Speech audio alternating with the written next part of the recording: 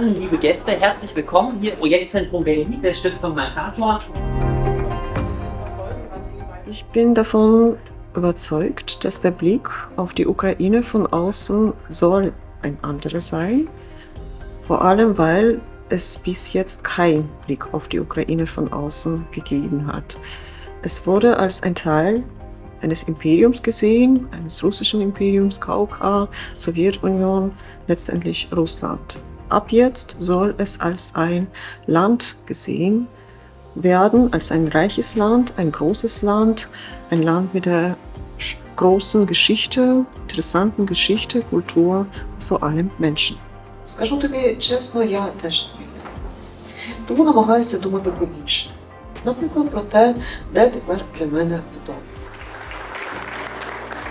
Wird der Blick auf die Ukraine in Zukunft, der Blick von außen ein anderer sein?